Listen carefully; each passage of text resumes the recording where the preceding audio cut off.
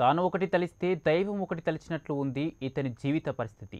సాఫీగా సాగిపోతున్న అతని జీవితంలో వరుస విషాదాలు చోటు చేసుకున్నాయి. కుటుంబంలో ఒక్కొక్కరు మృతి చెందడంతో తీవ్ర మనోభేదనకు గురైన సంరీత్ తనకంటూ జీవితంలో ఎవరూ మిగలకపోవడానికి కారణం తాను దురదృష్టవంతుడిగా భావించి చివరకు తనువు చాలించాడు.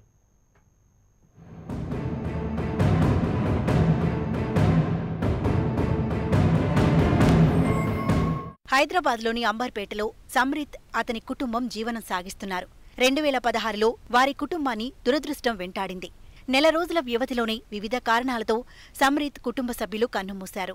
చివరికి కుటుంబంలో సమ్రిత్ ఒక్కడే మిగిలిపాడు తీవ్ర విషాదంతో ఉన్న అతణ్ణి తన స్నేహితుడి భార్య చేరదీసింది.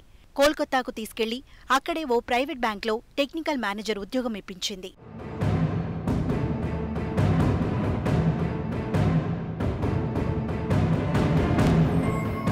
తనను ఎంతో ప్రేమగా చేరదీసిన స్నేహితుడి భార్యను సోదరిగా భావించిన సంరిత్ తనకు ఒక సోదరి దొరికిందని మురిసిపోయాడు. ప్రతి విషయాన్ని ఆమెతో పంచుకునేవాడు.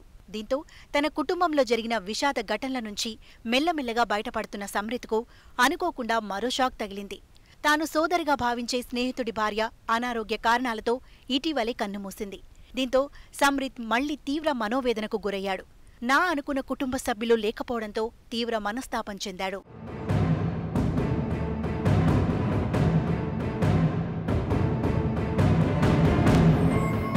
తాను ఒక దురదృష్టవంతుణ్ణని అందుకే కుటుంబీకులందర్నీ కోల్పోయానని భావించేవాడు. ఇదే విషయాన్ని తాను ఉండే ఫ్లాట్లో ప్రతి ఒక్కరికి చెప్పేవాడు సంరిత్ ఎప్పట్లాగే అతడు సహోద్యోగులతో కలిసి విధులకు బయలుదేరాడు.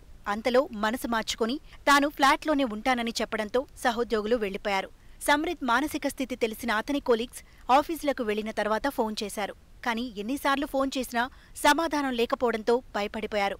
అనుమానం వచ్చి ఫ్లాట్కు వచ్చారు. తలుపు వేసుకుని ఉండటంతో తమ దగ్గర ఉన్న మరో తాళంతో తెరిచి చూడగా సంరిత్ అపస్మారక స్థితిలో ఉండడాన్ని గమనించారు. ముఖానికి ప్లాస్టిక్ కవర్ పక్కన ఓ సిలిండర్ దాని పైపు ప్లాస్టిక్ కవర్లో ఉంచిన స్థితిని గమనించారు.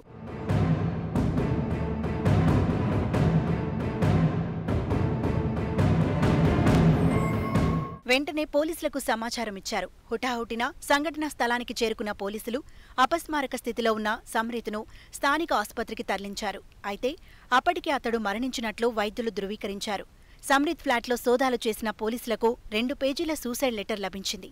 ఆ లెటర్ను పరిశీలించిన పోలీసులు తన పరిస్థితుల్ని గురించి సమ్రిత్ ఆ లెటర్లో వివరించినట్టు తెలిపారు. వరుస ఘటనలతో తీవ్ర మనోవేదనకు గురైన సమ్రిత్ సూసైడ్ చేసుకున్నట్లు ఆ లెటర్ ద్వారా పోలీసులు నిర్ధారించారు.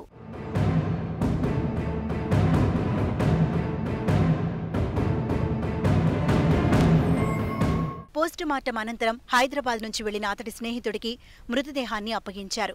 సూసైడ్ నోట్లోని చేతిరాత సమృద్ధేనని తేల్చిన పోలీసులు అతడికి విషవాయువుల సిలిండర్ ఎక్కడి నుంచి వచ్చిందనే అంశాన్ని ఆరా తీస్తున్నారు. దీనిపై కేసు నమోదు చేసుకున్న పోలీసులు దర్యాప్తు ప్రారంభించారు.